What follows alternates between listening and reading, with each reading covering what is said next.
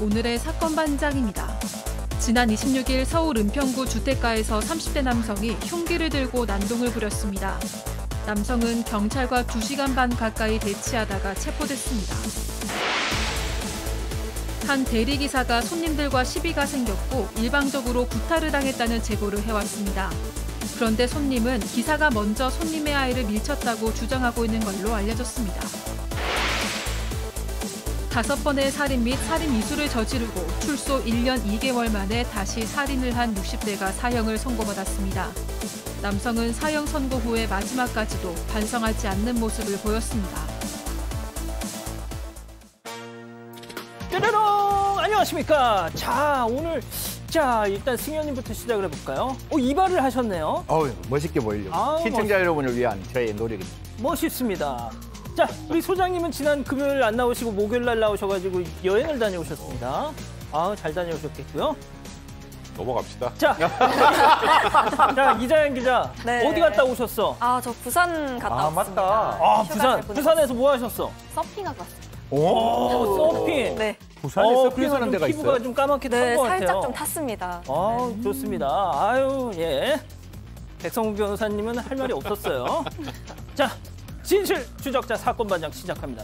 이 자영업자 킬러로 불리면서 이 청주 시내 식당 사장님들을 공포에 떨게 했던 아, 유튜버 주모 씨 식당 들어가서 행패 부리고 그걸 방송하는 걸 콘셉트로 했던 자였죠.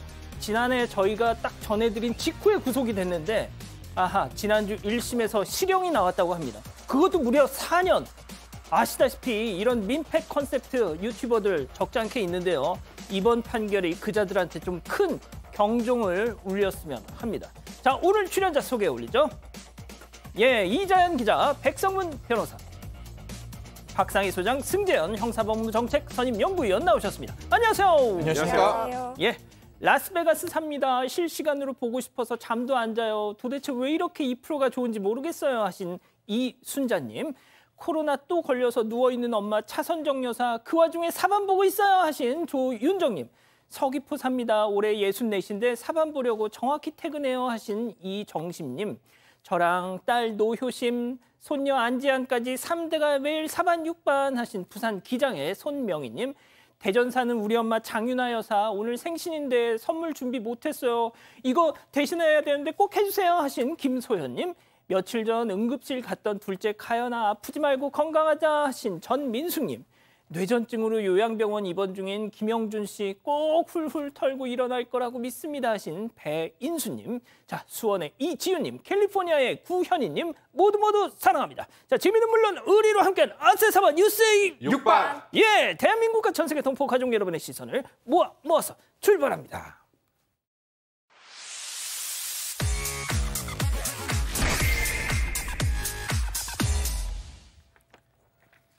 첫 번째 가보죠. 서희초 갑질 확인 안 됩니다. 자, 계속해서 전해드리고 있는 사건인데 서희초 교사의 극단적인 선택과 관련해서 이른바 연필 사건 가해 학생 학부모가 경찰이다 하는 내용 지난주에 전해드렸죠. 때문에 이 답답하기만 한 경찰 수사, 이 혹시 내 식구 감싸기 아니냐 이런 비판도 나온다 했는데 이 제목을 보니까 여전히 뭐 진척이 없나 봐요. 네, 일단 숨진 교사에게 일부 학부모가 개인 전화번호로 연락했다 이런 의혹이 있었는데요. 사실과 다르다고 밝혔습니다. 포렌식하면서 추가로 확인된 부분이 있기 때문이었습니다. 이 교사가 한 개의 휴대전화로 업무용과 개인용 전화번호를 따로 받아서 사용을 해왔는데요. 학부모가 이 경우에 교내 유선 전화로 전화를 했더라도 교사의 어떤 태블릿에는 개인 번호가 표시됐다라는 게 경찰의 설명입니다.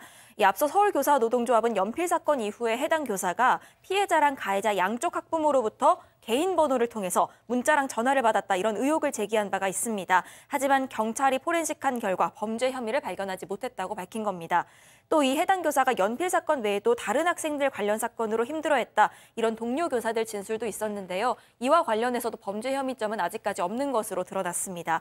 그리고 또 연필 사건 관련 학부모들의 직업이 또 논란이 되기도 했습니다. 그중에서 현직 경찰이 있기 때문에 어떤 수사 결과에 영향을 미친 거 아니냐 이런 얘기도 나왔었는데 이와 관련해서 그런 주장 매우 유감스럽게 생각한다. 절대 아니다. 이런 입장도 밝혔습니다.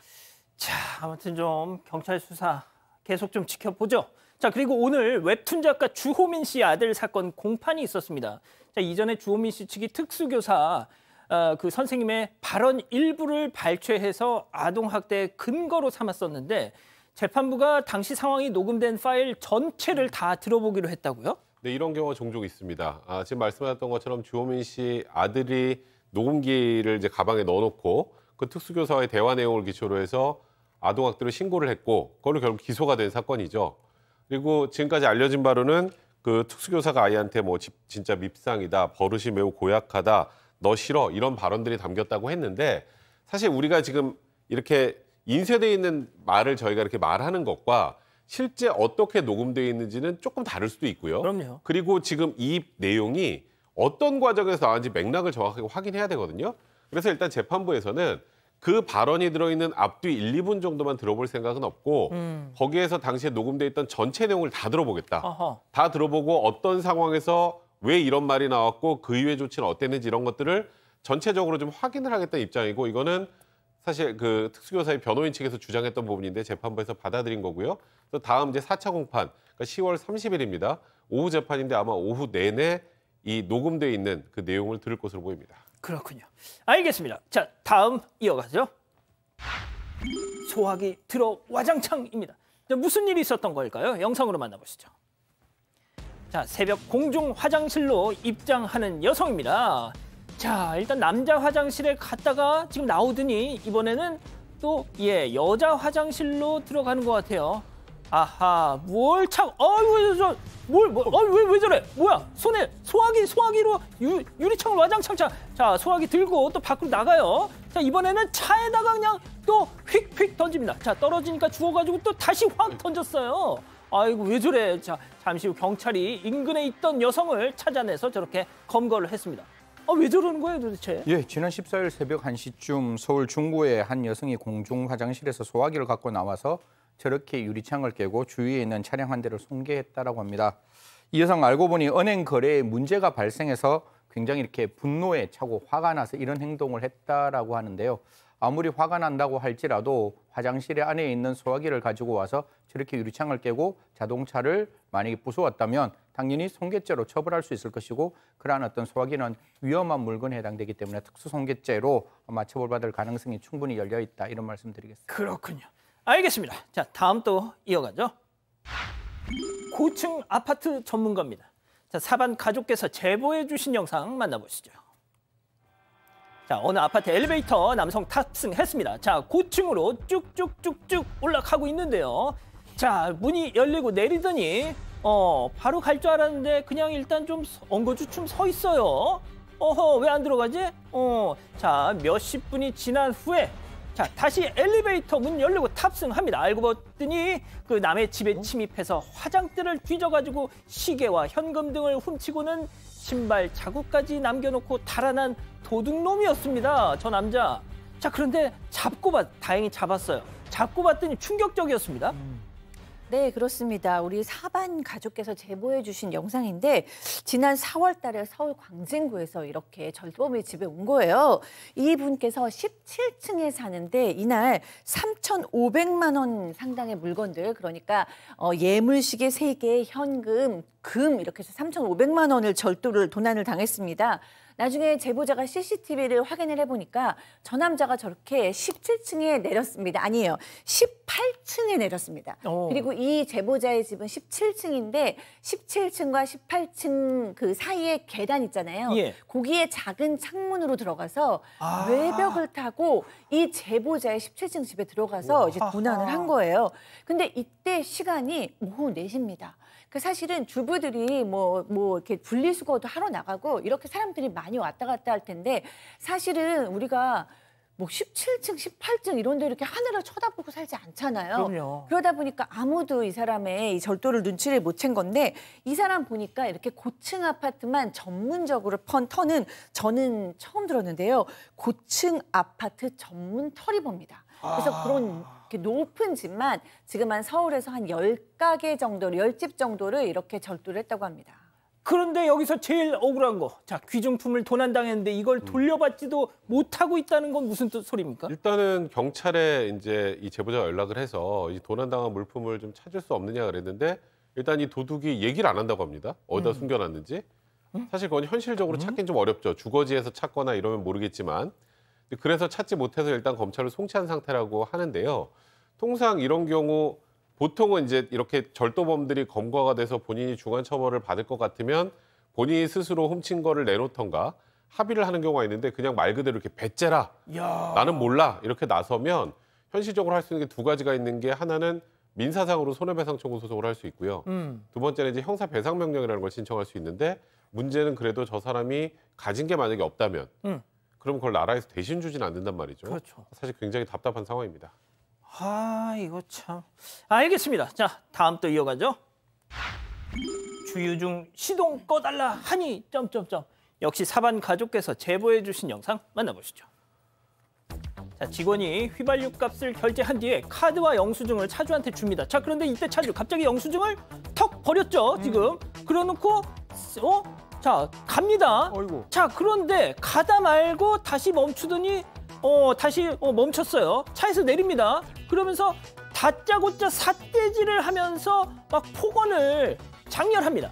자, 그렇게 해서 계속해서 삿대질 하더니 아이고 뭐라고 뭐라고 야야야야 저거 저거 어쩌고 저쩌고 어쩌고 자 다시 차에 올라탑니다. 아이고 세상에 저 꼴을 보고도 직원분은 저렇게 고개를 숙여서 인사를 합니다. 너무 착해, 어이구 진짜. 자 그런데 이 무슨 상황이었던 거죠? 네, 저게 어제 오후 12시 반쯤 전남 영암의 한 주유소인데요. 저 남성 손님이 오더니 기름 가득이요 라고 해서 네, 알겠습니다. 엔진 정지 좀 부탁드립니다. 이렇게 얘기를 했다는 겁니다. 당연히 시동 껐다고 생각을 하고 한참 주유를 하고 있는데 중간에 보니까 시동이 안 꺼져 있는 걸 발견해서 다시 한번 이 손님에게 요청을 했습니다. 이 사실 주유 중인 자동차에 시동을 끄지 않을 경우에 이 엔진 스파크가 주변에 떠 있는 어떤 유증기와 만나면서 폭발로 이어질 수 있습니다. 굉장히 위험할 수가 있고요. 또 이렇게 시동을 끄지 않을 경우에 과태료는 손님이 아니라 이 사업소가 내게 됩니다. 이런 상황인데도 불구하고 이 손님은 시동 꺼달란 얘기를 듣고 나서 날이 이렇게 더운데 시동을 끄라는 거냐라고 따졌다고 합니다. 이 결국 주유 중단해라 이렇게 나서니 나오니까 2만 천 원어치까지만 주유를 하고 카드 결제를 한 뒤에 카드랑 영수증을 건네줬던 거죠. 그런데 손님이 저렇게 영수증만 차 밖으로 던졌던 겁니다. 이 직원이 이 상황이 너무 어이가 없다 보니까 헛웃음이 나왔다고 하는데 그걸 본 건지 다시 내려서 욕설을 한 겁니다. 제보자에 따르면 차주가 그때 이런 말을 했다고 합니다. 내가 기자다. 기자의 명예를 걸고 너를 그만두게 하겠다. 이라고 제보자가 일단 주장을 하고 있는데 이 그러다 보니까 직원이 일단 고개를 숙이고 사과를 할 수밖에 없었습니다. 아니 명예훼손일 것 같은데요 예. 기자에 대한. 기자. 기자, 내가 기자인데. 제발 아니기를 바라지만 만약 맞다면 이참에 꼭 소문 나가지고 어, 회사에서 됐으면 좋겠어요. 자, 어쨌든 직원분 결국 고소를 결심하셨다고요? 네, 일단은 조금 전에 저희가 본 영상에는 정확하게 나오진 않습니다만 음. 주변에 다른 사람들도 좀 있었다고 해요. 그러니까 뭐 지금 조금 전에 했던 내가 기자인데 뭐 내 명예를 걸고 널 그만두겠다 이거보다 그 전에 했던 욕설까지 다 조- 욕설까지 종합한다면 모욕죄 해당할 수 있다고 판단을 하신 것 같고 그래서 그걸로 고소한다고 하는데 더 나아가서는 위력에 의한 업무방해에 해당할 여지도 분명히 있습니다.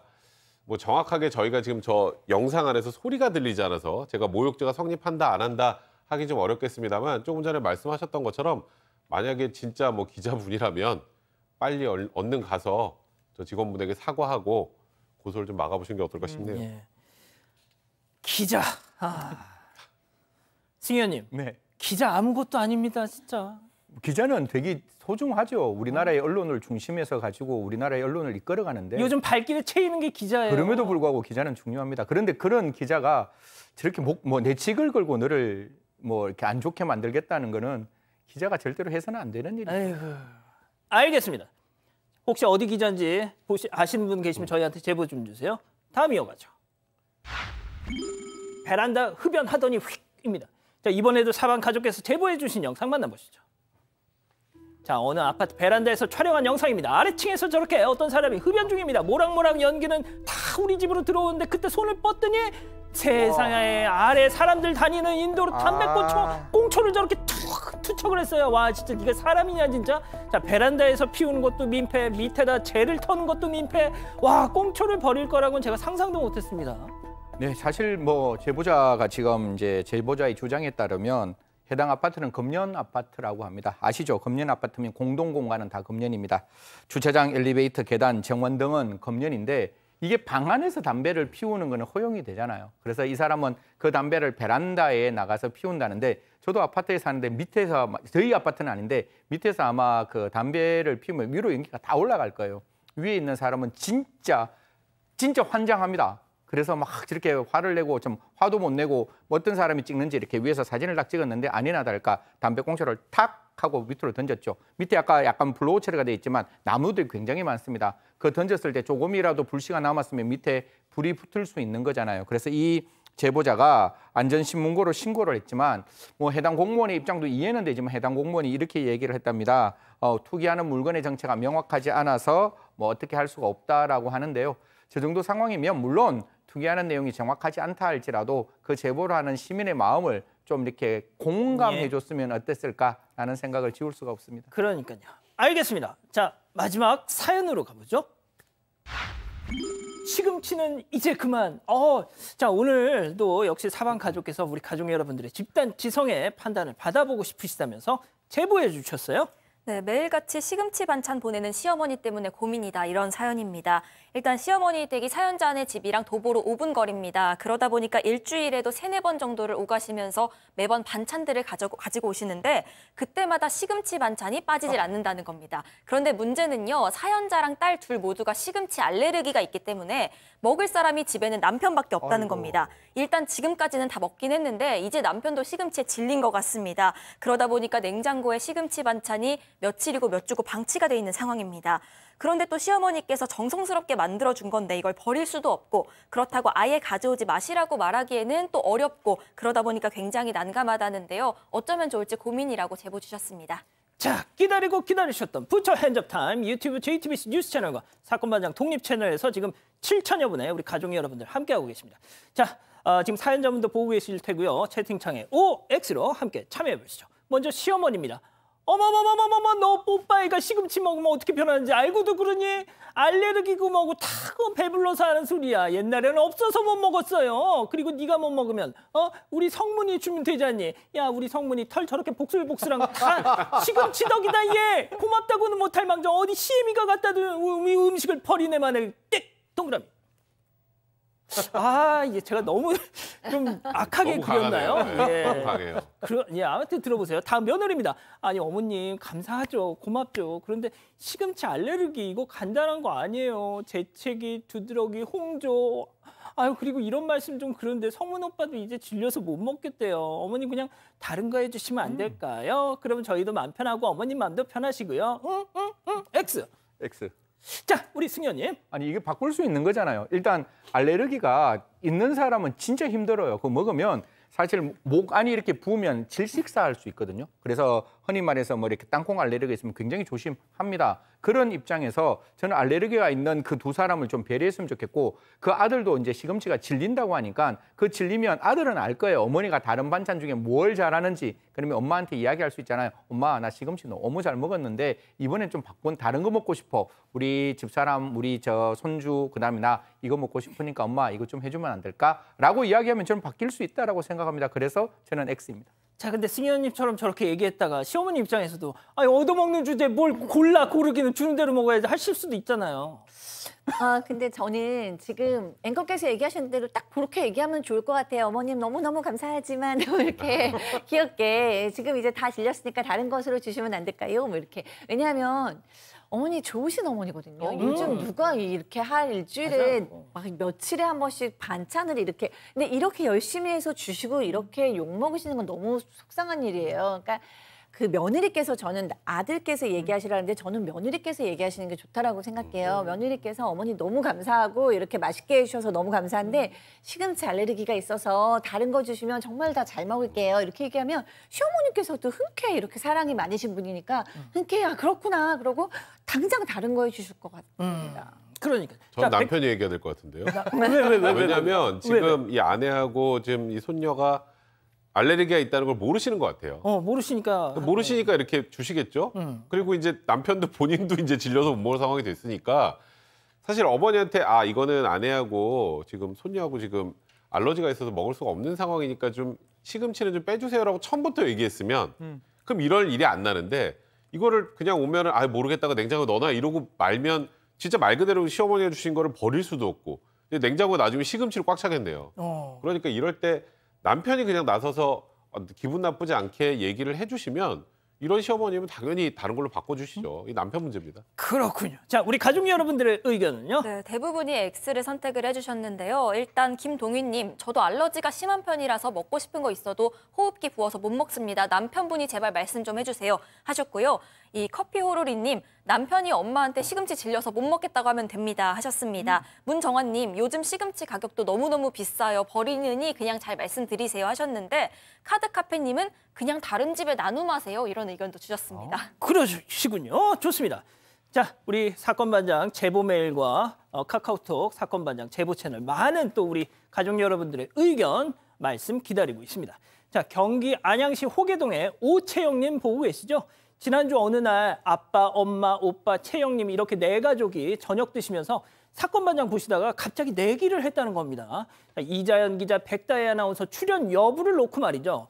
아빠 오영섭님, 아, 둘 다 나온다 하셨고요. 엄마 박미경님, 오빠 수성님은 어, 백다희 아나운서 휴가 가서 이자연 기자만 나온다 하면서 무려 인당 5만 원씩 와. 베팅을 하셨다는 어. 거죠. 럴수 럴수 이럴 수가 하필이면 그날 백다희 아나운서 휴가 마치고 딱 복귀하면서 두 사람은 동시에 출연했고 아버님은 무려 판돈 15만 원을 혼자 꿀꺽 하셨다는 예 이게 예, 아무튼 아버님 축하드려요. 예.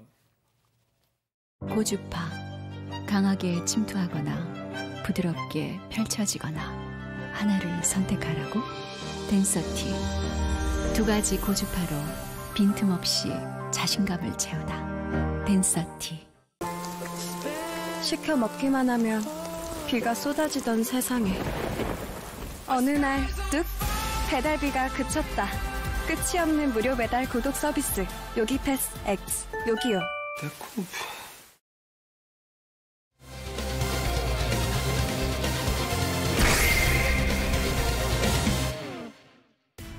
지난 26일 서울 은평구 주택가에서 30대 남성이 흉기를 들고 난동을 부렸습니다. 남성은 경찰과 2시간 반 가까이 대치하다가 체포됐습니다. 사건의 전말을 파헤쳐 봅니다. 자 주말 내내 저 사건으로 난리였죠. 네, 지난 26일 저녁 7시 반부터 밤 10시 사이 2시간 반 사이에 벌어진 일이었습니다. 당시 현장 상황이 영상이 준비가 돼 있는데요. 보면서 좀 설명을 드리겠습니다. 영상에 나오는 저 남성이 30대 정 씨입니다. 상의를 탈의한 채로 한 손에는 흉기를 들고 있고요. 경찰이랑 대치하고 있는 모습입니다.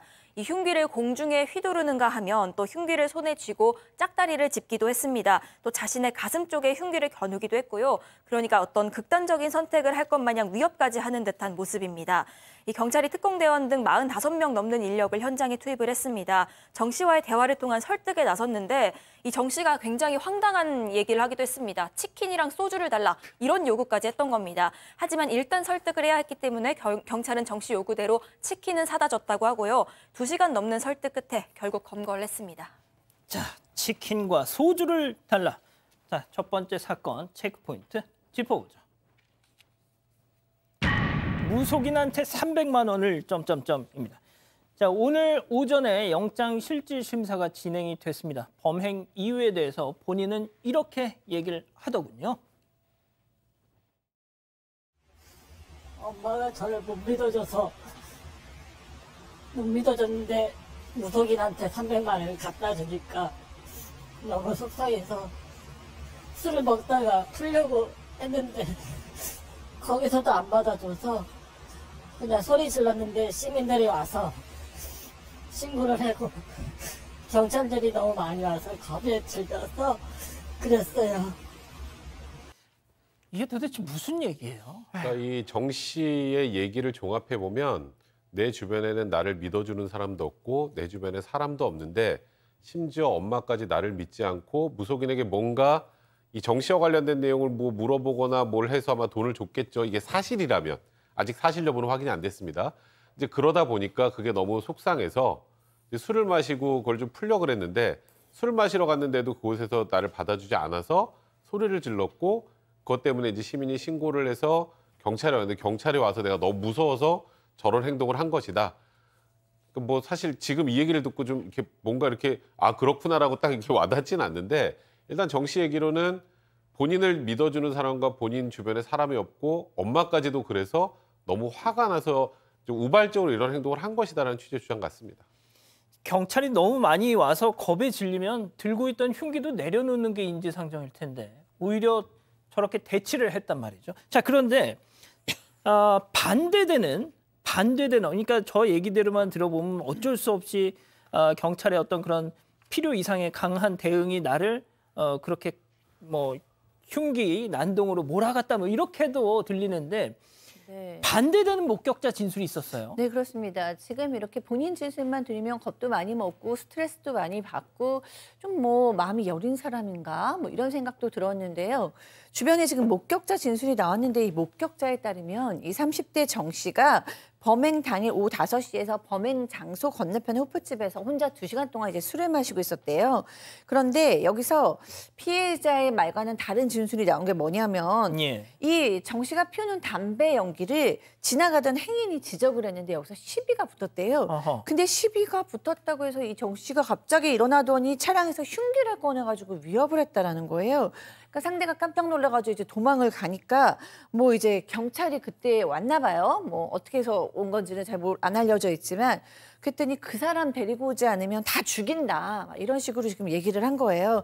이 정 씨와 그 사람이 시비가 붙었었는지는 아직까지는 이제 경찰 수사로 밝혀지지는 않았습니다. 자, 그 흉기가 말이죠. 한두 개가 아니었다는데 그거 어디서 난 겁니까? 그러니까 옛날에 요리사를 했다라고 쳐요. 요리사를 했대요. 뭐 그 말은 믿어주고 그러면 뭐 요리사를 했으니까 뭐 혹시 흉기 하나 정도만 있으면 되는데 아까 양손에 흉기가 있었고 그 자동차 근처에 갔는데 자동차 트렁크 안에서 다시 여섯 점이 발견됐는 거예요. 그러니까 총 흉기가 여덟 개가 발견이 됐습니다. 그런데 이게 총을 막 흉기를 들고 있으면 이 흉기가 총포 도금 화약류 위반이 될 수 있는 가능성이 있잖아요. 그래서 살펴보니까 전부 다 주방에서 사용하는 흉기였기 때문에 칼이었기 때문에 그거는 뭐 저 법규 위반이 아니라고 이야기를 해요. 뭐 사실 뭐 요리사로 있었고 요리사로 있어서 가끔 바다 낚시를 이렇게 해서 회를 떠먹기 위해서 흉기를 갖고 있었다 할지라도 여덟 개는 너무 많은 흉기를 가지고 있었다라고 보이는 것이고 거듭 말씀드리지만 아까 술 먹은 거 이외에 마약 검사를 했는데 마약 간이 검사에서도 음성이 나왔다고 합니다. 아까 흉기를 들고 경찰과 대치했기 때문에 경찰은 이 사람에게 특수공무집행 방해 혐의로 일단 구속영장을 청구했었습니다. 그 제가 승현님께 하나만 더 여쭤볼게요. 이 두 시간 동안 대치 과정에서 무려 경찰 특공대 등등 해서 무려 어, 저한 사람을 설득하고 그거 한다 48명의 경찰 병력이 그 현장에 두 시간 동안 묶여 있었다고 합니다. 뭐가 됐든 뭐 자해를 하겠다 뭐 이딴 식으로 하니까 테이저건을 쏘지 뭐 않고 계속 뭐 설득하고 달래고 막 이랬다는데 저는 이게 과연 효과적인 방법이었을까 싶어요. 뭐 국민들께서 그 질문 오늘 뭐 기자나 주변 분들이 많이 물어보던데요. 아까 뭐 백 변호사하고도 우리 저 대기실에 기다렸을 때 꽤나 이야기를 금- 오랫동안 나누었는데 물론 경찰의 입장에서는 그 피의자도 생명을 지켜야 되겠죠. 피의자가 만약에 자해를 극단적으로 한다면 피의자의 생명이 위험해질 수 있는 것이고 현장에 대응한 그 경찰관이 적법하고 의법하게 판단했을 거예요. 그러면 그런 경우에 과연 테이즈건을 쏘아서 이 사람을 바로 진압하는 게 옳은 것인가 아니면 거기서 충분히 설득시킬 수 있는 여지가 있었느냐 이런 점을 좀 살펴봤을 것 같은데 두 시간 반이면 여러 가지로 조금 기간이 시간이 길었다라는 생각은 지울 수가 없습니다. 그 당시에 그 있었던 경찰관들이 적법하고 의법하게 판단해서 결국 이 피해자가 다치지 않고 저렇게 영장 실질 심사를 받고 나왔는 점은 좀 이렇게 타당하다 할지라도 이런 경우에 있어서 언제 어떻게 진압할 것이냐 특히 지금 혼자가 있었잖아요 이때 다른 어떤 인질과 같이 있을 때 우리가 어떻게 할 것인지는 좀 매뉴얼상 적법하고 의법하게 빨리 처리할 수 있도록 좀 했으면 좋겠다는 말씀드리겠습니다. 그러니까 제가 이 말씀을 드린 거는 이 48명의 경찰 병력이 저 현장에 묶여 있느라 그럼 다른 지역에서의 맞습니다. 어떤 치안 공백을 우려할 수밖에 없다. 자, 그런데 영장 실질 심사 받았는데 영장이 나왔습니까? 어떻게 됐습니까? 어, 오늘 오후에 구속영장이 기각이 됐습니다. 아하. 일단 재판부가 정 씨에게 도주 우려가 있다 이렇게 단정하기는 어렵다고 봤고요. 범죄의 중대성이 인정이 되긴 하지만 이정 씨가 범행을 인정하고 있고 반성하고 있고 또 인명 피해가 없었던 점 등이 고려됐다고 전했습니다. 자, 백 변호사님, 네. 경북 영천에서도 또 이번엔 또 인명 피해가 있었습니다. 네, 맞습니다. 아, 어제 이제 밤 11시 20분쯤에 경북 영천시 한 주점에서 발생한 일인데요. 50대 남성이 옆 테이블에 앉아 있었던 어, 60대 남성 손님을 어, 일단 흉기를 휘둘러서 가슴팍을 찔러서 안타깝게 사망을 했고 그리고 또 다른 이제 본인과 함께 왔던 50대 여성 또 50대 남녀 어, 이 세 명에게도 지금 상해를 입혔는데 일단은 옆에 본인과 같이 온 여성이 어, 저 남성과 뭐 합석을 하는 이런 과정에서 화가 나서 그랬다고는 하지만 지금 일단은 한 명을 살해하고 세 명이 중경상을 입은 상황이라 살인 등의 혐의로 체포를 했고요. 일단 추가 조사 뒤에 구속영장 신청한 발- 방침이라고 합니다. 소장님이 조금만 더 설명해 주시겠어요? 네, 이 사람이 이 60대 피의자가 50대 여성하고 술을 마시고 있었는데 어떤 연유인지는 밝혀지지 않았지만 이 50대 여, 여성이 아 이 피의자도 50대 남성입니다. 옆에 있던 손님이 있었대요. 옆 좌석에 손님이 60대인데 그 좌석으로 이동을 해서 합석을 했다고 합니다. 왜 그랬는지는 지금 저희가 이유는 알 수가 없어요. 근데 이 사람이 이것이 너무 기분 나빠서 집으로 가서 흉기를 가지고 와서 이런 사고를 저지릅니다. 도대체 본인하고 같이 술 먹던 여성이 다른 데 가서 술 먹었다고 해서 사람을 죽이나요? 정말 처음 듣는 얘기라서 너무 놀랐는데요. 근데 이 사람 워낙에 주변에서 평이 요주의 인물이었다. 왜냐하면 근처에 계신 식당의 사장님도 아, 이 사람 너무 술버릇이 안 좋아서 언젠가 무슨 일이 일어날 것 같았는데 이번에 이 일이 일어나서 굉장히 좀 기분이 참참하다라고 밝히셨습니다. 요주의 인물이었다. 동네의 유명한 주폭이었다. 이런 말씀 같네요. 결국 이렇게 된 겁니다. 첫 번째 사건 정리하고요. 두 번째 사건 이어가죠.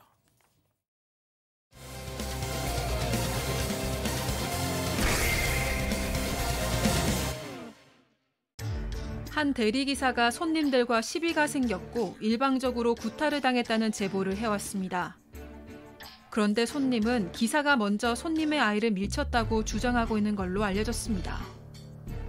어떻게 된 일인지 알아봅니다.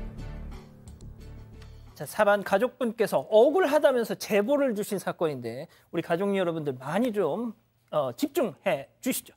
자, 설명 좀 해주세요. 네, 일단 제보자는 대리기사입니다. 지난 13일 밤 10시쯤에 이 역삼동 방향으로 가는 콜이 와서 일단 잡았습니다. 그리고 손님한테 전화를 걸어서 아 주차장에 곧 도착합니다. 이런 얘기까지 했는데요. 막상 가보니까 아무도 없었다는 겁니다. 다시 전화를 했더니 아 도착했는데요 했더니 근처에 그 검정색 차량 보이시죠? 그 앞에서 기다리세요. 이렇게 얘기를 하길래 그 앞에서 계속 기다렸다는 겁니다. 하지만 감감무소식에 전화도 받지 않았다고 하는데 한참을 기다리다 보니까 주차장 쪽으로 뭐 여성 두 명, 아이 두 명 뭐 이렇게 한 무리가 걸어왔습니다. 그러더니 대리기사가 기다리고 있던 그 차 말고 다른 곳에 있는 뒤쪽에 있는 다른 차의 문을 열더니 거기에 미리 타고 있었던 한 남성이랑 아 여기서 자고 있었던 거냐 얼른 집에 가자 이런 얘기를 막 나눴다는 겁니다. 그런데 알고 보니까요 그 근처에 주차돼 있던 그 차량에서 나온 그 남성이 이 대리를 부른 손님이었습니다. 그 남성이 대리기사를 보더니 아 여기 있었던 거예요? 라고 얘기를 했다는 겁니다. 대리기사는 그 손님한테 20분씩이나 기다리게 하면 어떻게 하시냐 미안하다고 사과는 해야 하는 거 아니냐 이렇게 얘기를 했는데 이미 손님 부부는 술에 취한 상태였습니다. 그러면서 네가 그러니까 그따위로 사는 거다. 대리기사인데 아하. 왜 애들 앞에서 화를 내냐 라면서 욕설까지 했다고 하고요. 실랑이가 벌어졌습니다. 그 사이에 현장에 있던 또 다른 여성이랑 아이, 아이는 자리를 피했고요. 그 이후에 손님 부부 측에서 때리려고 위협하고 밀쳤다는 게 이 대리기사의 주장입니다. 대리기사가 자꾸 이러시면 신고하겠다 얘기를 했는데도 할 테면 해봐라 라면서 계속, 밀쳤다고 하고요. 결국 경찰에 신고를 했습니다. 자, 대리를 부른 사람이 그 바로 옆에서 옆 차에서 20분 동안 쿨쿨 자고 있었는데도 어 아예 아예 저희 저희 곧 옵니다 곧 옵니다 이러다 나중에는 아예 전화까지 안 받았다는 거예요. 뭐 다 좋아요 좋은데 결국 가장 중요한 거 네가 임마 그런 식으로 하니까 그러고 사는 그따위로 사는 거야. 직업을 비하했습니다. 자 이렇게 말다툼은 결국 폭행으로까지 이어졌는데 당시 폭행 영상 준비가 돼 있죠? 네, 맞습니다. CCTV 영상에 이 폭행 장면이 고스란히 담겼는데요. 제 영상 보면서 설명드릴게요. 자, 남성이 오. 대리기사에. 지금 보시는 것처럼 다리 걸면서 넘어뜨리죠. 어, 이 남성 충격을 받고 오. 그대로 바닥에 내동댕이 쳐집니다. 그 순간 여성이 다가오더니 대리기사의. 뒤통수를 발로 걷어찹니다. 아니 뭐, 대리기사가 머리를 감싸는데도 여성은 폭행을 계속하는데요. 대리기사를 밀치고 때립니다. 이런 폭행 무려 5분 동안 이어졌습니다. 아휴, 자 영상에서 보시다시피 대리기사는 손님 부부에게 저렇게 일방적으로 폭행을 당했는데요. 자 이런 얘기를 하면서 때렸습니다. 체크포인트 짚어보죠. 네가 내 새끼를 쳐! 라고 했다는 건데요. 자 폭행이 이루어지기 전에 어떤 상황이었는지 제보자 이 대리기사님 얘기 직접 들어보시죠. 하지만 애가 그 와중에도 엄청 그 주변을 빙글빙글 뛰어다니고 있어요. 그러고 나서 제가 뒷걸음질을 치고 그쪽에서 한번 더 밀치고 때리려고 할 때 제가 그 뒤를 도는 순간 저쪽에서 애가 저한테 아다다다 뛰어오더니 제 몸에 다 부딪혔어요. 갑자기 그쪽에서 네가, 네가 내 새끼를 쳐라고. 네가 내 새끼를 쳐라고 하면서 저를 폭행을 하기 시작했었고요. 남자가 다리를 이렇게 탁 걸면서 넘어뜨리고 음. 여자는 바로 제 그 후두부를 발로 가격을 하기 시작했습니다. 좀 의아했던 게 애가 그렇게 걱정이 되면은 사실 저 같으면은 애가 다쳤는지부터 좀 챙길 것 같아요. 음. 애가 넘어진 상황이면 야, 너 어디 안 아파 까진 데는 없어 이렇게 봐야 될 것 같은데 음. 애는 뻘딱 일어나서 계속 여전히 계속 뛰어다니는데 음. 애는 안한것 없이 저만 패는 거예요 둘이는. 자, 대리기사와 부딪혔던 아이는 주차장 주변 보셨다시피 저렇게 막 뛰어다녔고 손님 부부의 이 폭행은 멈출 줄을 몰랐습니다. 그래서 대리기사는 증거를 남겨야 되겠다는 생각에 뒤늦게 휴대전화를 들고 촬영을 시도했는데 그 이후의 상황 어땠는지 영상으로 보고 오시죠. 너 오늘 마지막이야 이거잖아. 찍기 전에는 잘 때리던데. 맞을래? 찍기 전에 잘 때리는데. 아 때려줘? 맞아. 네가 아직까지 이제까지 공격 그 배운 게 그거냐? 아, 나 애가 와서 나한테 부딪히는데 내가 애를 왜 때리겠어. 네 와이프는 성명이야. 안 됐어. 니, 손 니, 이제 니 와이프가 나를 때려. 손 이제 형도 계속 폭력적으로 하잖아. 손 이제 엄마 너한테 왜 그러는데? 네. 야, 일로 와. 야, 아, 뭐. 그래서 저는 이제 이 원본 영상을 봤는데 아, 자 모르겠어요. 그냥 성인들끼리만 있었으면 뭐 100번 양보해서 서로 감정이 격해져서 저럴 수 있다 쳐. 아까 보셨죠? 애 막 옆에 자기 애가 옆에 있는데 뭐 온갖 쌍욕을 하면서 막 막 때리고 때 아이고. 자, 소장님. 네. 그런데 여기서 네. 더 충격적인 거. 그 손님 부부 나도 피해자다. 내가 피해자다 뭐 이랬다면서요. 네, 그렇습니다. 지금 이제 휴대폰으로 찍을 때는 막 저희가 CCTV로만 확인할 때는 엄청 폭력이 세잖아요. 그러다가 이제 휴대폰으로 촬영을 하는 것 같이 딱 보이니까 그때부터 이제 말이 바뀌는 게 뭐 너도 때렸잖아. 이 휴대폰으로 찍게 너- 너도 때렸잖아. 막 그렇게 얘기 나오다가 또 뭐라고 얘기하냐면 그 쌍방 폭행으로 몰아가려고 하는 것 같아요. 출동한 경찰한테 뭐라고 얘기하냐면 우리가 또 맞았어요. 우리도 맞았고요. 저 사람이 저 대리 기자가 우리 애를 집어 던졌어요. 어허, 라고 이런, 얘기를 이런. 했어요. 사실 CCTV가 없었으면 진짜 얼마나 나쁜 사람으로 몰릴 수 있었습니까? 그리고 여성에게 손을 댈 리가 없잖아요. 지금 사진 보면 여성한테 엄청 맞았는데 이 남자가 카메라로 찍고 있는 거라고 하니 그걸 보고 네가 내 와이프한테 손댔잖아. 뭐 이게 약간 성희롱 같은 걸로 몰아가려고 하는 건지 네가 우리 와이프한테 왜 손대? 뭐 이런 식으로 가면서 우리도 맞았다. 우리 애를 잘 먼저 때렸다. 정당방위다. 이렇게 얘기하고 있습니다. 아, 전 진짜. 어? 자, 경찰은 현장에서요 양쪽의 진술을 듣고 일단 돌려보냈는데 나흘 뒤에 이 대리기사분 경찰로부터 청천벽력과 같은 연락을 받으셨다고요? 네, 전화가 왔는데요. 물론 이건 이제 제가 대리기사님한테 우리 법에 대해서 조금 설명을 드리고 절대로 걱정 안 하셔도 된다는 말씀부터 먼저 드릴게요. 지금 쌍방폭행으로 그쪽에서도 분명히 고소를 했을 거예요. 우리도 맞았다라고 그 부부가 그러면 경찰의 입장에서는 그 쌍방 고소를 받은 그 고소장을 그냥 지울 수가 없어요. 그래서 그 고소를 받은 피고소인을 부르는데 우리가 피고소인이라고 부를 수가 없으니까 피의자라고 부르는 거예요. 그래서 피의자로 불러서 조사를 해요. 근데 경찰관이 분명히 그렇게 말을 했을 거예요. 이거 문제 없다. 걱정 안 해도 된다. 분명히 보면 일방적으로 폭행 당하셨네. 라고 말할 수는 있어도 피의자 신문 조서를 받을 때에는 진술 거부권을 고지해야 돼요. 그 진술, 진술 거부권 고지는 네 가지가 있어요. 일체의 진술, 개개의 진술에 대해서 진술 거, 진술을 거부할 수 있고, 진술 거부권은 포기할 수 있고, 진술 거부권을 포기하고 행한 진술은 유죄의 정보로 사용할 수 있고, 변호사 선임할 수 있다. 이 네 가지를 반드시 알려줘야 돼요. 어디에서는 피해자 신문 조서 받을 때는. 그래서 아마 그 대리기사님에게 경찰이 묵비권 혹은 변호사 선임권을 물어봤을 건데 그는 절차상에 있는 거니까요. 그냥 사실 그대로 CCTV에 네. 있는 내용을 말하면 문제가 없을 것 같으니까 이 부분은 걱정 안 하셔도 된다는 말씀 음. 드리겠습니다. 아까 승현님이 자- 영상 볼, 볼- 보실 때 뭐 혼잣말로 약간 어 이거 아동학대 아니야 그러 우리 가족 여러분들도 이거 아동학대 아니야? 그러시는데 진짜 저도 영상 보면서 아니 저 와중이 되면 최소한 엄마는 자기 아이라도 챙겨가지고 현장을 좀 벗어나야 되는 거 아닙니까? 세상인데 오히려 보셨죠 영상? 넘어진 남성 그 후두부를 발로 가격을 하려고 하- 했잖아요 솔직히 영상으로. 그 뭐 그게 얼마나 아팠는지는 모르겠으나 자, 가해자 측에서 사건 이후 두 차례 또 연락이 왔다면서요? 네, 일단 사건 다음 날 전화가 왔습니다. 이 가해자 부부 측에서 전화를 해서 뭐 병원 가셨냐 이렇게 묻길래 네 지금 병원에 있어요 이렇게 대답을 했더니 본인들도 어제 응급실을 다녀왔다 이런 얘기를 했다는 아하, 겁니다. 네. 이 그러면서 당신이 아이를 배로 밀지 않았냐 그래서 우리는 때린 것뿐이다 이렇게 얘기하는 걸 듣고 아 이 사람들이 쌍방으로 엮어가려고 하는구나라는 생각이 들어서 굉장히 황당했다고 전했고요. 또 사건 발생 열흘 뒤에는 문자가 왔는데 이때는 태도가 약간 바뀌었습니다. 어. 나중에 상황 설명 들어보니까요. 제 잘못이 많았습니다. 저희가 늦어서 대리기사님이 기다리는 줄 몰랐고 에? 우리 아이가 활발하고 낯을 안 가리는데 응? 이 다툼 중인 걸 잘 몰라서 인지를 못했는지 대리기사님에게 장난치고 싶어서 다리에 달라붙었던 겁니다. 뿌리치는 대리기사님 입장 충분히 이해하는데 그 상황에서는 솔직히 우리 아이한테 몹쓸 짓 하는 분처럼 보여서 너무 화가 났는데 이 저지른 말과 행동 굉장히 죄송합니다. 사과드리고 싶습니다. 이런 내용이었다고 합니다. 이 대리기사 입장에서는요. 아, 이게 진정성 있게 느껴지지가 않고 그냥 합의 보려고 하는 거구나 하는 생각이 들어서 맞을 때보다 오히려 이 문자를 받은 뒤가 더 기분이 안 좋았다고 전했습니다. 연락 말아달라고 했더니 지금까지는 더 이상 연락은 오지 않고 있는 상황입니다. 자, 이게 말이죠. 핸드폰으로 찍힌 영상만 있었으면 과연 저분이 저렇게 사과를 하셨을까? 자, 승현님. 네. 이 멀리서 찍은 그 골목에 있는 CCTV 예.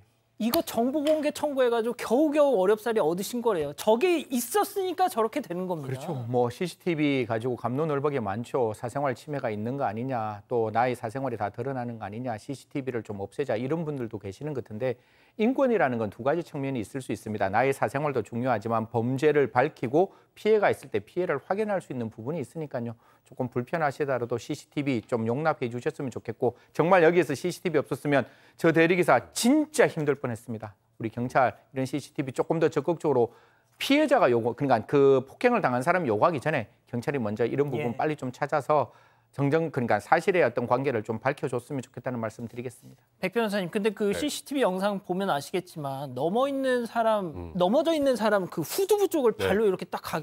이거 좀 뭐 좀 심하지 않아요? 일단은 대리기사분이 지금 어느 정도 다치셨는지는 저희가 정확하게 여기 지금 나온 정보는 알 수 없는데 일단 죄명은 뭐 특수폭행 아니면 더 나아가서 이제 상해죄 해당할 가능성은 좀 있고요.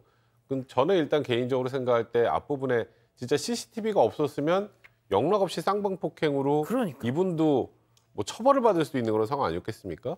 뭐 사실상 거의 무고에 가까운 행위라는 생각이 좀 들고 그런 부분들까지 감안한다면 이에 대해서는 응당한 법적 처벌이 좀 이루어져야 될 것 같고요. 저는 뒤늦었지만 지금 아마 저희 사건 반장에서 저희가 지금 이 방송을 하고 있어서 아마 저 피의자 부부도 알게 되지 않을까 싶어요. 저 예. 정말 이거는 본인들 무릎 싹싹 빌고 싹싹 음. 빌어서 어떻게든 대리기사분하고 합의를 하는 것 외에는 음. 처벌을 피하기 좀 어려워 보입니다. 자, 우리 대리 기사님들 그리고 택시 기사님들도 마, 마찬가지고 정말 bodycam 음. 이런 거 하나 좀 하고 이- 일을 하셨으면 좋겠습니다. 정말 이렇게 결정적인 아, 증거가 되잖아요. 자, 두 번째 사건 정리하고요. 세 번째 사건 이어갑니다.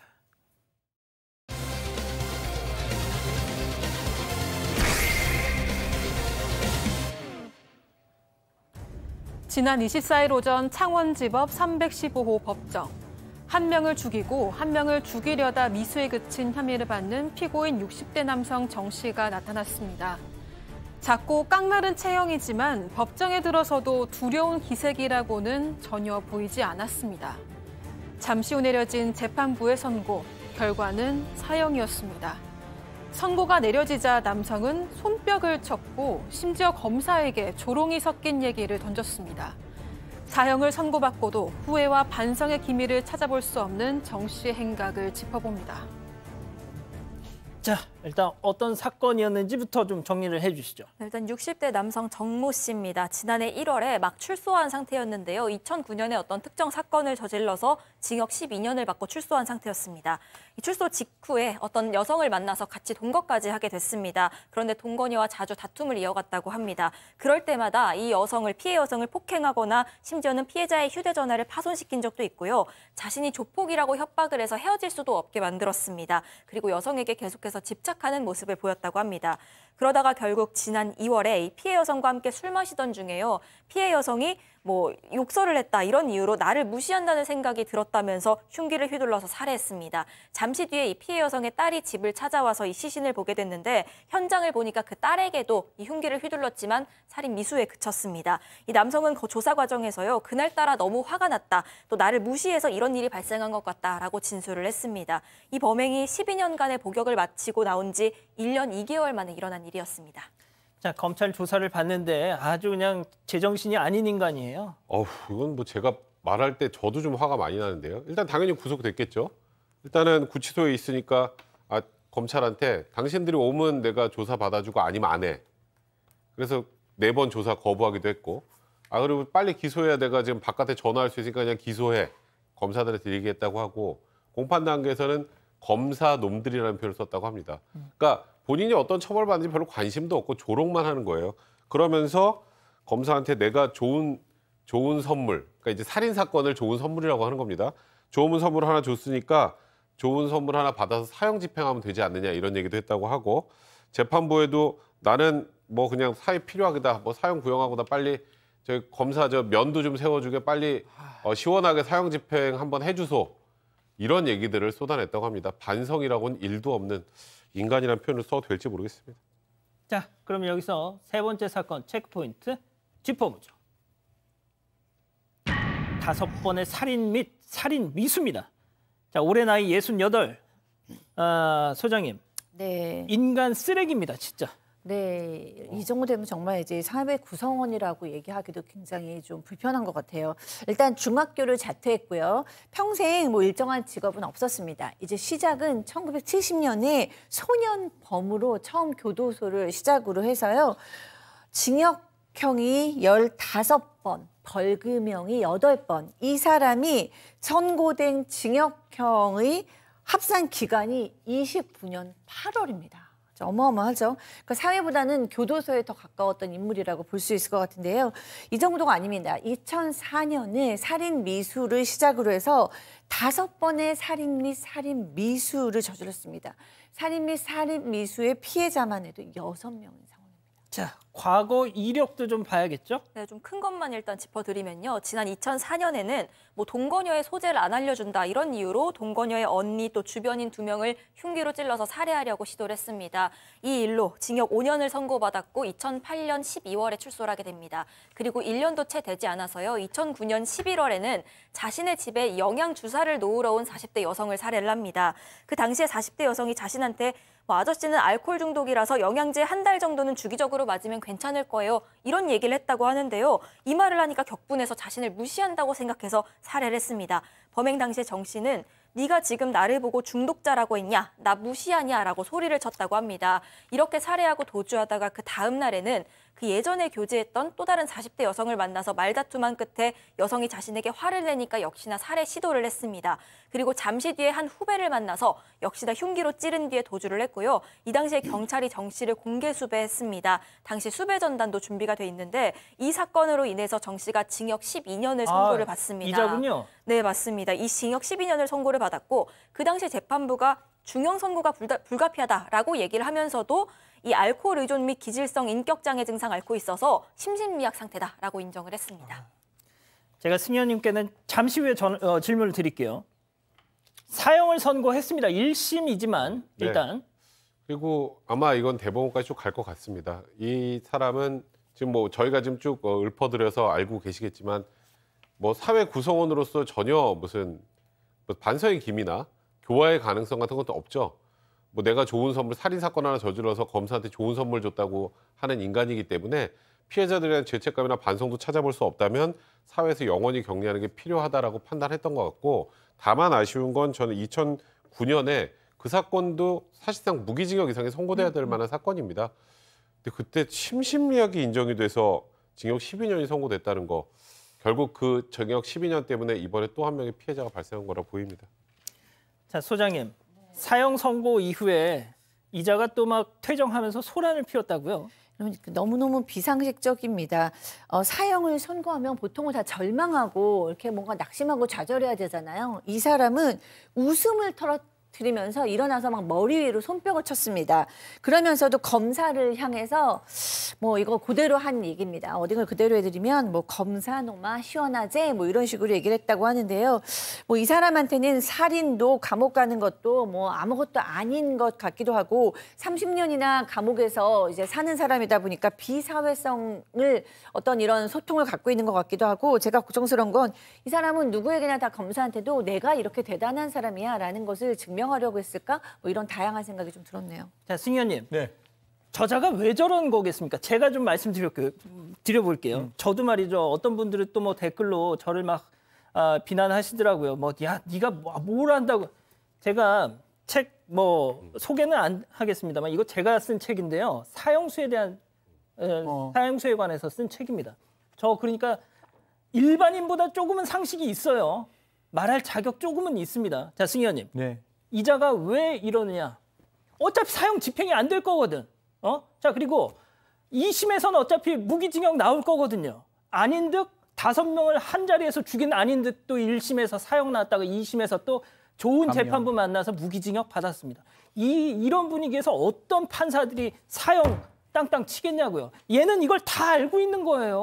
어떻게 보면 자기가 사람을 죽이는 걸 죄송합니다. 제가 뭐 정말 공공기관에 있기 때문에 되게 조심스러워서 말할 때마다 좀 말 톤을 낮추는데 어떻게 보면 사람을 죽이는 걸 희열을 가지고 사람을 죽였다는 느낌까지 죽이려고 했다는 느낌까지 드는 사람이에요.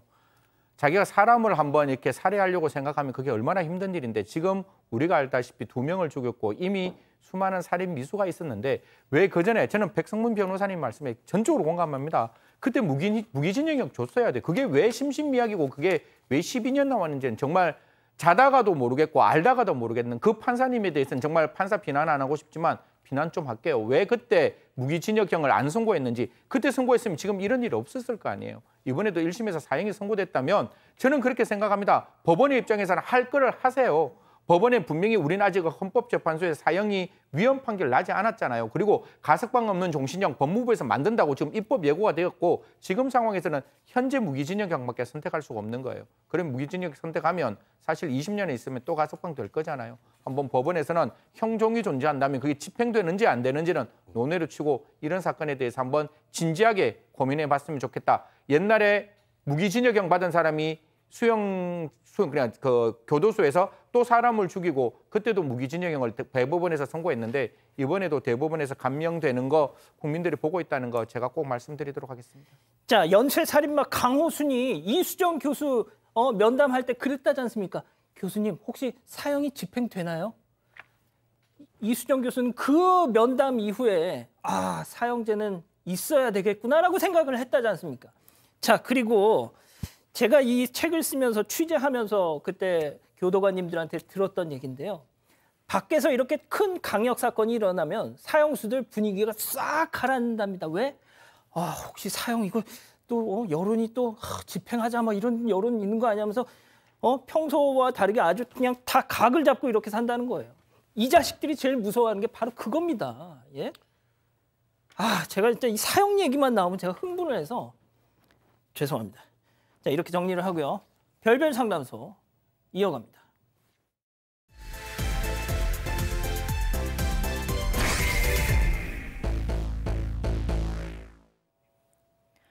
지난 2월 불의의 사고로 친오빠를 떠나보낸 김 씨는 평생 씻지 못할 또 하나의 상처를 입게 됐습니다. 4살 때 가족을 떠나 따뜻한 품 한 번 내준 적이 없던 친모가 오빠의 재산을 상속받겠다며 뒤늦게 부모 노릇을 자처했기 때문인데요. 어떻게 키워주지도 않은 사람이 재산을 욕심내냐고 따져 물었지만 시집살이를 했다. 자식 얼굴도 보지 못하고 힘들게 살았다면서 기어코 재산의 절반을 상속해 갔다고 합니다. 하지만 먼저 떠나보낸 오빠를 추모하기는커녕 부모의 상속 의무만을 주장하는 친모를 김 씨는 도저히 받아들일 수 없다고 하는데요. 친모가 상속받은 재산을 다시 돌려받을 방법은 없는 걸까요? 자, 사방 가족께서 직접 또 제보해 주신 사연입니다. 자, 제보자가 아주 어릴 때 어머니와 떨어져 지냈군요. 네, 일단 제보자 김 씨는 30대 여성인데요. 4살 때 이 부모님이 합의 이혼을 하게 됩니다. 그리고 한 살 위 오빠 아버지 조부모님이랑 같이 살아왔습니다. 이렇게 어머니가 집을 떠난 뒤로는 가족들이랑 연을 아예 끊고 살았기 때문에 성인이 될 때까지는 결국 어머니가 어떤 삶을 살았는지 전혀 모르고 살아왔습니다. 너무 어린 나이에 떠나보내기 때문에 사실 좋은 기억도 거의 없었습니다. 또 엄마가 싸준 뭐 도시락 한 번 못 먹어봤다, 엄마가 다려준 교복 한 번 못 입어봤다 이런 서러운 뿐만이 아니라 오히려 엄마 없다고 놀림받고 외면받고 이런 기억들이 많았기 때문에 이 가슴 속에는 엄마에 대한 원망까지도 가득했다고 합니다. 그러다 성인이 된 이후에 가까스로 연락이 닿았다는 거지 않습니까? 네, 그렇습니다. 20대 제보자가 20대 중반쯤 됐을 때 우연한 기회에 오빠가 친엄마와 연락을 하게 됐어요. 근데 이 오빠는 이 엄마에 대해서 기억이 굉장히 안 좋았다고 합니다. 맞은 기억도 있고 불안 장애도 있- 있었기 때문에 나는 엄마하고 연락하고 싶지가 않으니까 너라도 연락하고 싶으면 해라. 이래서 연결해 줬어요. 그 후에 이제 몇번 연락하고 뭐 만나기도 하고 그렇게 했는데 이제 어느 날 이 제보자는 사실 오랫동안 아버지하고 조부모님이 키워주셨잖아요. 근데 이 아빠가 이 엄- 새로 만 이 엄마가 뭐라고 얘기냐면은 얘 너 나중에 결혼하면 어 나랑 네 새아빠 그러니까 지금이 엄마와 같이 살고 있는 그 남성이었던 것 예. 같아요. 새아빠 이름으로 청첩장을 써줘라. 그리고 식장에도 우리가 함께 해줘라. 뭐 이렇게 얘기를 했대요. 아이고야. 그것도 굉장히 좀 기분이 안 좋는데 뭐 쉽- 사실 20대 중반까지 가장 중요한 시기엔 옆에 없었던 엄마잖아요. 그런데 누구네 집 아들은 뭐 해줬대더라, 누구네 집 딸은 뭐 해줬대더라, 막 이런 얘기를 해서 그럴 때마다 기분이 좀 안 좋으셨다고 합니다. 예. 자 그런데 그러다가 제보자 친 오빠한테 뭔가 변고가 생겼습니다. 예, 친오빠가 갑자기 어, 돌아가셨다고 합니다. 갑작스러운 사고로 이제 유명을 달리했는데요. 어, 제보자는 아버지에게 연락을 받았습니다. 그래서 이제 그 병원으로 갔겠죠. 그런데 그 아버지가 야 그래도 친모한테는 연락을 해야 되지 않겠니?라고 해서 친모에게 연락을 했답니다. 그래서 친모가 왔어요. 그래서 장례식을 다 마치고 난 다음에 그때는 오빠가 죽은 재산에 대해서 상속 포기하겠다 이런 의사를 밝혔는데 이제 돌아가고 난 다음에 그 오빠의 상속 재산을 조금 조사를 해봤겠죠. 그랬더니 갑자기 태도가 바뀌었다고 합니다. 설마 그 재산을 네, 맞습니다. 일단은 사망하고 나서 사망보험금이 있고요. 그 외에 예금도 좀 있었고 이제 제, 제일 결정적인 건 예. 사대째 내려오는 가족들 땅이 있습니다. 어허. 근데 아버지 명의로 돼 있었는데 예. 아버지가 이제 파킨슨 병을 알고 있어서 음. 만일 대비해서 땅의 명의를 아들로 바꿔놓은 거예요. 그러니까 아들이 사망했으니까 땅이 있죠. 또 보험 조회까지 다 해보고 이 땅의 시세까지 전부 다 알아봤다고 합니다. 와. 그러더니 이 아들의 상속 재산 50%를 요구하게 된 겁니다. 이 엄칠한 게 있어야 하는 거 아닙니까? 그래서 제보자도 부모로서 역할도 안 했는데 이 돈을 요구할 수가 있냐 상속 포기해라 라고 얘기를 했습니다. 하지만 이 어머니 법대로 하겠다면서 법무사까지 내세워서 별별 주장을 다 펼치기 시작을 합니다. 일단 첫 번째로는 너는 엄마를 부양해야 할 의무가 있지 않냐. 엄마가 나중에 나이 들면 네가 법적으로 책임 의무가 있으니까 이 오빠 재산도 엄마가 받는 게 마땅하다라고 얘기를 합니다. 또 그러면서 왜 아빠 편만 드냐. 너도 엄마 자식 아니겠냐. 상속 50% 엄마가 가져가는 거에 대해서 네가 왜 열을 내냐. 어차피 네가 다 받아갈 건데 아빠 편만 들지 말아라. 이런 얘기도 하고요. 여기에 더해서 이 얘기까지 합니다. 너희 아버지 건강이 안 좋지 않냐. 오빠 재산 가져간다고 한들 그걸 지킬 수가 있겠냐. 엄마인 나는 건강하니까 내가 이 재산을 잘 지켜서 너에게 물려주겠다는 거다. 이렇게 얘기를 합니다. 이런 주장 펼치면서요. 이 친모는 끝끝내 재산의 절반을 분할 상속 받아갔습니다. 아니 그냥 뭘 잘 지켜서 물려줘 그냥 줘도 되는데 예? 그러니까요. 그래서 이 제보자께서는 친모가 양육의 의무는 져버렸는데 상속의 권리는 남아있는 이 상황이 도저히 이해가 할 수 없다라고 얘기를 하셨고요. 장례를 끝난 이후에 정말 그 아들에 대한 미안함과 그리움이 있었잖아요. 그러면 어디에 안치됐는지 그 어. 기본이잖아요. 어. 근데 그것도 물어보지도 않았다는 거예요. 어디에 안치됐는지도 물어보지도 않고 그냥 이제 보험금 수령 여부에만 급급해서 막 경찰서로 직접 뭐 찾아가기도 하고 뭐 이런 모습을 보였다고 해요. 그러니까 그런 모습을 보면서 이 제보자께서 정말 손이 부들부들 떨렸다고 이렇게 얘기하셨어요. 자 일단 그 아버지 제보자의 아버지 그러니까 이 사람에게선 전 남편이겠죠. 그분은 지금 살아 계신 거잖아요. 네네. 사실 뭐 이런 부분에 대해서 조금 이제 이야기를 드리면 장례를 치르고 얼마 지나지 않아서 오빠의 생일이 찾아왔다고 음. 합니다. 아버지는 전처에게 그래도 낳아준 부모니까 같이 생일 축하해주러 가면 어떻겠니?라고 그 묘지에 찾아가는 걸 제안했는데 전처에게? 전처가 하는 예 전처에게 하니까 전처가 하는 말이 어. 여기서부터 좀 섬뜩한데요. 왜? 네. 그 산속으로 끌고 가서 나 죽이게? 아. 라고 답변하면서 찾아오지도 않았다고 그러니까 합니다. 전처에게 이봐 우- 그 우리 어. 크- 아들 어좀 이렇게 어 에, 그 같이 산소 가서 생일 축하해 주자 그랬더니 왜 그 산으로 끌고 가서 나 죽이려고 뭐 이랬다는 거죠. 그러니까요. 그러니까 얼마나 이게 섬뜩한 일이겠습니까? 아버지도 그렇고 제보자 본인도 이 말을 전해 듣고 손이 아까 벌벌 다시 한번 떨리는 정도였다고 하는데요. 어, 그뿐만 아니라 친모는 아버지에게 이런 말을 했답니다. 아들이 죽은 건 다 너 때문이다. 너 아픈 것도 벌 받은 거다. 나는 일종의 선물을 받은 거나 마찬가지다라고 하면서 가슴에 대못을 받았 대못을 박았다라고 합니다. 그 산속으로 끌고 가서 나 죽일라 그래? 어, 죽일라고 하는 거 보니까 뭔가 자기도 찔리는 게 있긴 있나 보네요. 아, 그러니까 이 참 더 황당한 건 이 제보자 입장에서는 오빠 잃은 슬픔 때문에 극단적인 선택까지 하려다가 이제 그래도 이제 다행히 이제 그네마 괜찮아졌었는데 이 아버지 입장은 어떻겠어요? 그러니까 이제 이 전처한테 연락을 해서 우리 딸이 이런 생각까지 했다. 음. 근데 뭐 이 정도면 걱정할 만도 한데 전화 한 통도 없었다고 합니다. 그렇게 제보자는 정신과 치료까지 받으면서 좀 힘든 어, 시간을 보냈는데 제보자가 이제 친모한테 이렇게 문자를 보냈습니다. 엄마는 돈이 그렇게 좋냐? 더 받고 싶으면 나까지 죽으면 더 많이 받을 텐데 어허. 그렇게 서러움을 표현을 했더니 어. 이제 그 친모라는 사람이 문자를 딸랑 하나 보내왔는데 뭐 본인의 미안한 감정이 아니라 본인이 지금 내가 얼마나 힘들었는데 이 내용만 온 거예요. 내용 보면 너희들 못 만나게 하면서 나를 나쁜 엑스로 만든 너희 아빠 고모들 할머니 용서 못한다. 그때 못 받은 위조와 위자료와 억울한 위로금이라고 생각할 거다. 앞으로도 아빠와 고모들이랑 마음껏 엄마를 저주해도 진실은 승리한다. 이런 문자를 보냈다고 합니다. 친모라는 사람한테 정말 당신 이럴 수 있어라고 문자를 보냈더니 세상에 편지를 보냈는데 진실이 승리한다. 아, 뭐, 뭐 어디 출마하는 것 같아요 지금. 어? 네, 그렇습니다. 어, 자필로 이제 편지를 보냈어요. 그래서 이제 저한테 이제 편지를 한번 봐달라고 이제 세상집께서 말씀하셔서 제가 읽었는데 예. 저는 편지를 보냈기 때문에 뭔가 그래도 마음을 드러냈을 줄 알았어요. 근데 아, 이 엄마는 이 문제를 지금 돈으로만 보고 있구나. 그러니까 이 딸은 지금 무슨 얘기를 하는 거냐면 돈 얘기는 뒷얘기고요. 우리 어렸을 때부터 모진 분파 당하고 너무 서러울 때도 오빠하고 나는 엄마 없이 그냥 견뎠어. 엄마가 우리를 키워주지 않았다. 그게 너무 상처가 된다. 오빠는 한 번도 사랑하지 못하고 사랑받지 못하고 이렇게 죽었다. 엄마가 이렇게까지 우리를 사랑해주지 않고 우리를 돈으로만 본다면 나도 죽어줄까 이런 얘기인데 이 엄마는 그 딸의 감정에 대해서는 어, 전혀 지금 공감이 없이 왜 이 문제에 네가 그렇게 억울한데 네가 돈, 네 돈도 아닌데 뭐가 이렇게 억울하냐? 뭐, 네 진실은 승리한다. 뭐 이런 얘기를 했어요. 그래서 아, 이 네. 따님 오늘 제보하신 분은 정말 마음 상처가 많았겠다라는 생각이 들었습니다. 자, 그럼 이쯤에서 별별 상담소 오늘의 궁금증 짚어보죠. 자, 네 살 때 헤어진 일단 엄마라고는 하겠습니다. 세상 떠난 친오빠의 재산을 저렇게 절반이나 떼어가면서 요구하는데 어떻게 하면 좋겠냐? 자, 승현님. 네. 사실상 이건 두 가지로 바라, 바라볼 수 있을 것 같은데요. 이게 파- 진짜 핏줄이라서 상속이라는 게 어떻게 할 수 없는데 그 50%를 받아갔잖아요. 하지만 엄마는 전혀 뭘 하지 않았습니까? 그 오빠를 키우는 양육비를 내지 않았잖아요. 그 양육비 반환 소송을 같이 제기하면 50% 중에 일정 부분을 분명히 받아올 수 있다. 이런 말씀 드리겠습니다. 자, 백 변호사님.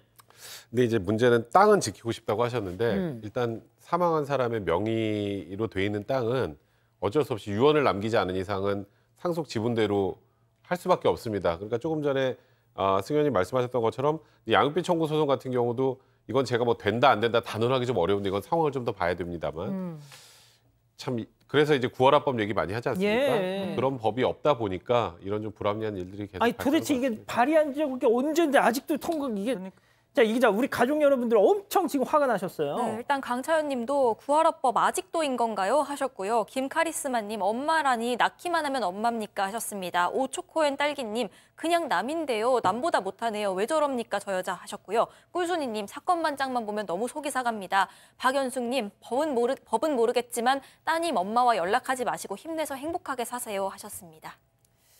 알겠습니다. 자, 별별 상담소 이렇게 정리하고요. 글로벌 픽 이어갑니다.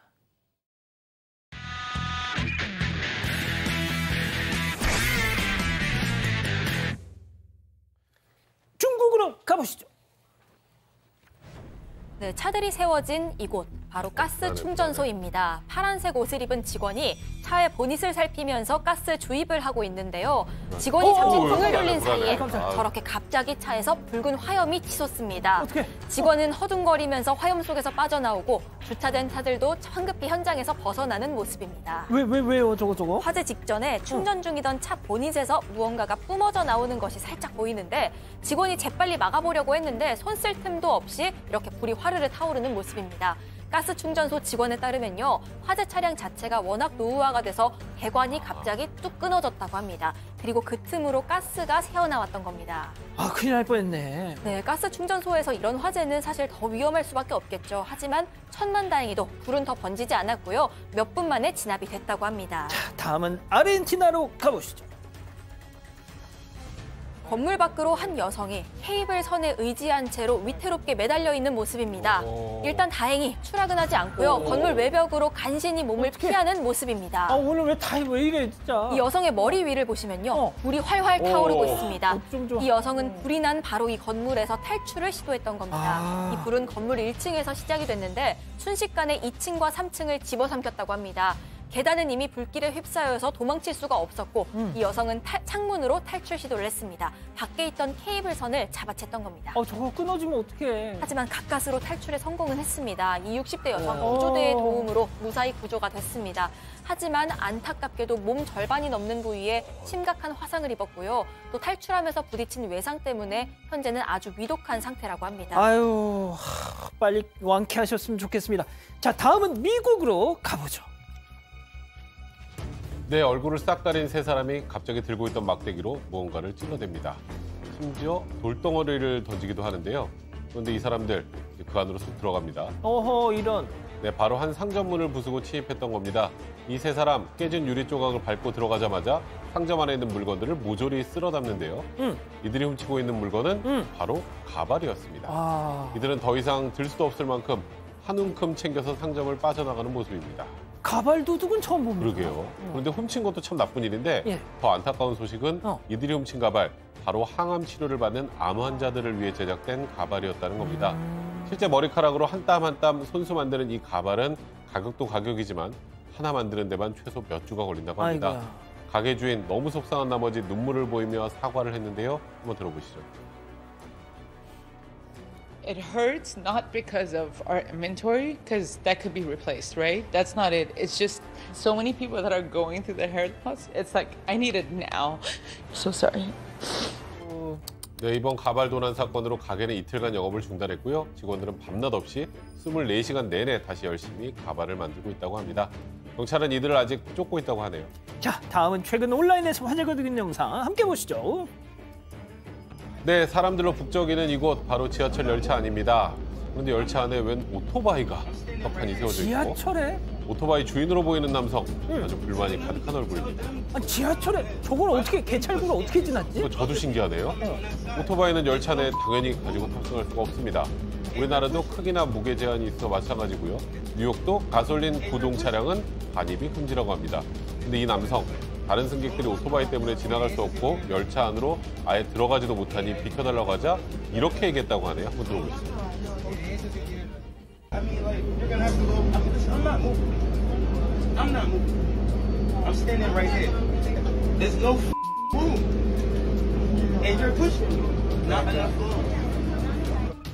결국 이 오토바이 주인 본인이 내리기 전까지 한 발짝도 움직이지 않았다고 하고요. 열차를 타려던 승객들이 다음 열차를 타거나 다른 문을 이용해서 탑승해야 했다고 합니다. 아, 너무 짜증. 승현님. 네. 아, 뭐라고 좀 해줘요. 좀. 아이 뭐 정신 좀 차리고 진짜 네가 아, 영어로 해줘요. Get away. 아, 아, 못 알아들을 아, 것. 같은데. 아, 알겠습니다.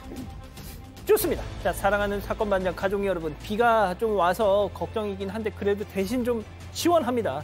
예, 안전한 밤 보내시고요. 저희는 내일도 별이 여섯 개 반, 사반 육반 저녁 여섯 시 반에 다시 옵니다. 안녕히 계십시오.